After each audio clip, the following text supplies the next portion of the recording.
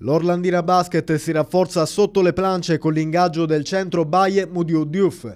22 anni proveniente dalla Vapor Art Bernareggio in Serie B dove viaggiava quasi in doppia doppia di media con 10 punti e 9.2 rimbalzi in 13 partite. Diouf 2,03 metri di altezza colmerà il vuoto sotto canestro lasciato da Abdel Fall. Devo dire che siamo molto contenti di aver chiuso questa operazione che non è stata un'operazione semplice perché andare sul mercato dei lunghi tra febbraio e marzo è sempre complicatissimo, tanto più lo è in una stagione così particolare. Siamo riusciti a prendere Diouf che è un giocatore che seguiamo da tempo e quindi siamo molto soddisfatti di questa operazione. Consentimi di dire una cosa, questa operazione insieme a quella che la scorsa settimana ha portato Alberto Conti all'Orlandina Basket eh, è un segnale, vuole essere un segnale che l'Orlandina Basket non, eh, non appartiene all'Orlandina Basket vivacchiare.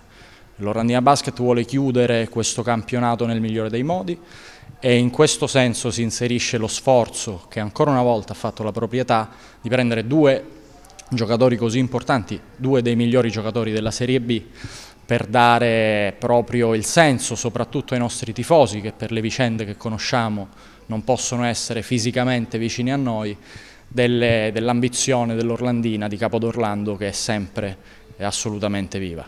Intanto i bianco-azzurri si preparano alla doppia trasferta di Biella e Milano. Orlandina che scenderà in campo giovedì a Biella alle 20.30 e sabato alle 14 al Pallalido contro l'Urania Milano. Sono due partite importantissime perché la classifica è estremamente fluida e si può andare in fretta a scalarla con due vittorie, si può eh, ripiombare giù con due sconfitte. Queste sono due partite assolutamente fondamentali che ci diranno dove possiamo andare poi eh, nella seconda fase e eventualmente se possiamo ancora centrare i playoff, cosa a cui noi non rinunciamo assolutamente a provare, oppure se dovremmo difenderci e cercare di portare a casa una salvezza.